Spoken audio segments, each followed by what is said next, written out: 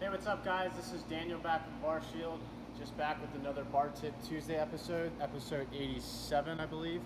So um, we're going to talk about um, specifically chalk down that gets down into the sleeve.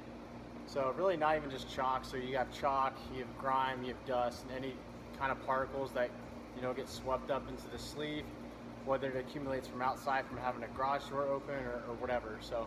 Um, you know, this is something that was brought to my attention from um, one of the head trainers down at CrossFit Grandview, um, down in Columbus, Ohio. Uh, they see a lot of use on their barbell fleet. So I'm talking like they have like over 500 members. So they have several nine bar holders that are filled with bars. Um, so there's a lot of people going in and out of the gym, stuff coming in with their, you know, from their shoes, or again from like a garage door from the outside. So specifically about chalk. Um, so a quick example would be, you know, grabbing out if somebody has longer arms, uh, if they're grabbing uh, out here on a snatch grip. Uh, so whether they're all the way out to the collar or if they're at the knurling mark, whatever it is. So what tends to kind of happen over time, which just unfortunately kind of happens as you keep chalking um, where you snatch, where you grip for your snatch, and then you start sweating, or the bar stays, you know, moist from the humidity, uh, or you know, you're not keeping your bars dry, stuff like that. That chalk will kind of start to make its way towards the, the sleeve, uh, so down to the, where the uh, whether it's bearing or bushing down the sleeve here. So it starts to get a little sticky. This one, this bar itself is one of Rogue's uh, bearing bars. It's an Olympic barbell.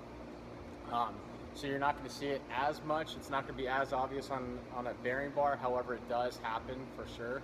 Um, it'll be more evident like on, you know, a lot of the uh, the bushing bars. So a lot of the multi-purpose bars you'll see, even if they're not even that old.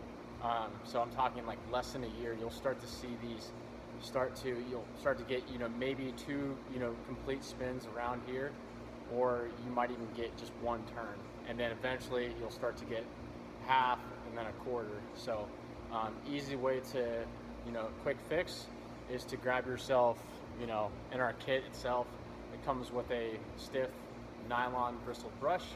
So just getting that out of the knurling. So you do little circular strokes or back and forth um, after every use. So especially if you have chalk in the knurling, just to prevent that from coming down.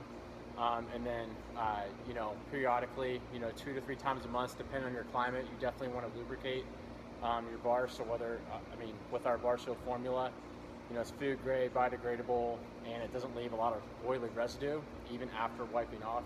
Um, so it's workout ready right away, so you can use it.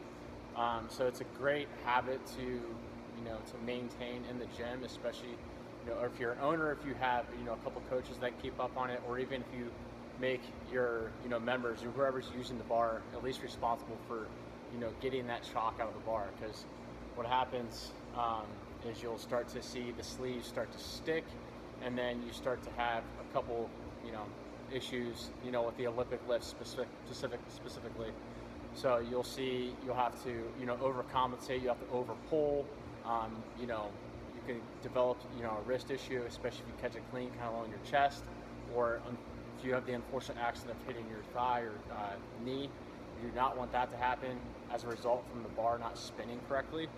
So make sure that you're, um, you know, keeping up on your sleeves. It's an easy fix. We've done several episodes before. Um, so you know, typically you're going to set it up vertically in a plate or a nine bar holder, and then you want to put a few drops down into the sleeve, let it diffuse down into the sleeve, lubricate the bearings or bushings, Again, bushings will require more maintenance than bearings. Um, let it sit for at least 10, you know 15 minutes or so, and then just flip it over, do the other side, and you're good to go. So you can do multiple bars at a time. It's not a big deal. So if you have any questions, hit us up, and we'll see you next week.